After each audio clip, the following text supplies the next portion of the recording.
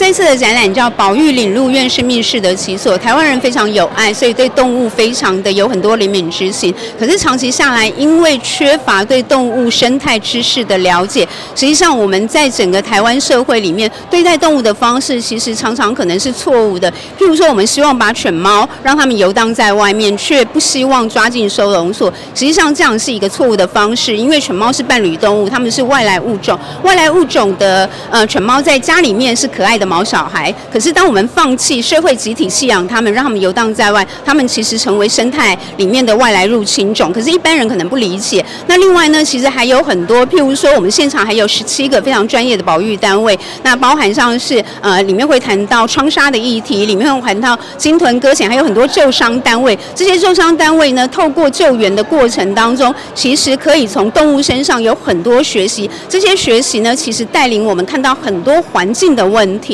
面对动物的很多困境，例如台湾流浪犬，目前我们选择的手法，让大量的犬猫游荡在外，其实它们严重的伤害了石虎、穿山甲、草鸮。但是这不是动物的错，而是因为我们整个社会太少人。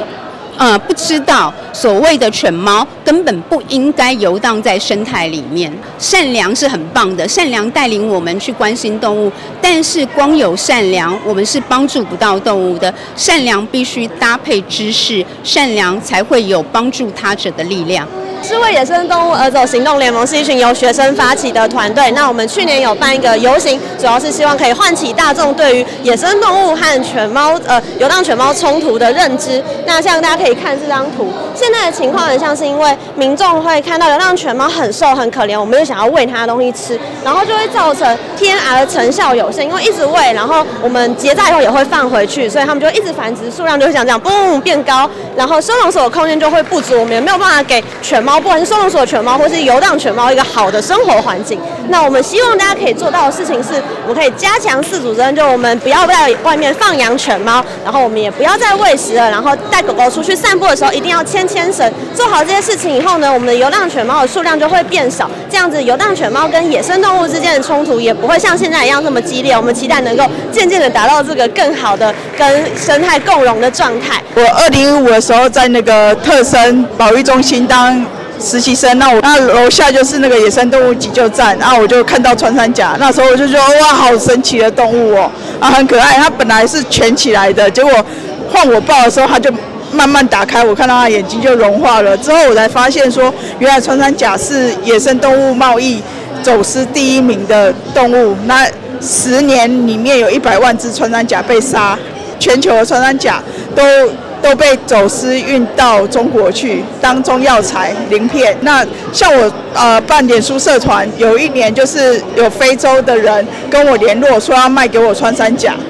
对，那我就跟他沟通，我用法文用 Google Translation 跟他沟通之后，我就用了半年调出他的那个基本资料，之后把他移送法办，就会跟贝林的警方还有当当地的保育团体移送法办。他就被关了六六个月。全世界最容易看到穿山甲的地方就是我们台湾，因为我们族群量有慢慢回升，因为野保法的关系，族群量回升。那大家都知道保育，所以容易看见。那容易看见以后，我们就发现了一个问题，就是零扑杀的那个法律之后，我们野狗、流浪狗的那个情形，反而也流浪狗在攻击他们。对，都在攻击他们，尤其是刚出生穿山甲，刚出生刚独立的穿山甲，那个尾巴都被咬。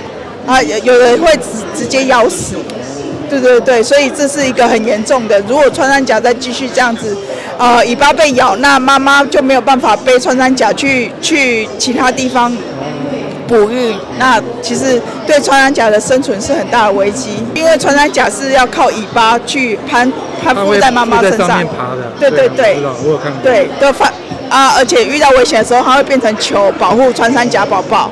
啊，如果没有尾巴的话，它就根本没没没有办法变成球。那现在这个这这一两个月有十起穿山甲都被咬咬死，或是尾巴咬断掉，都被狗咬。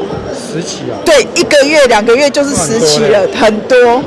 对对对，我们主主要才一万多只而已。那我们有记录到就十起了，所以再这样下去的话，其实是不得了的事情。